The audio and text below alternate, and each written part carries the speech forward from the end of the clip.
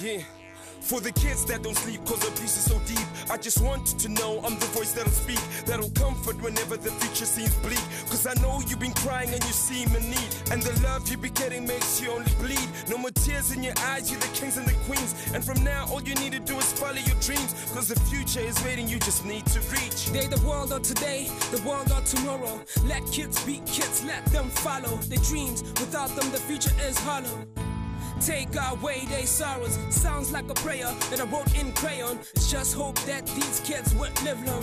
So when I'm gone, I can hear them sing a song. After all, I won't be gone. We're the kings and queens of tomorrow. The of tomorrow.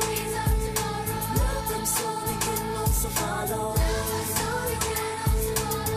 the kings and queens of tomorrow.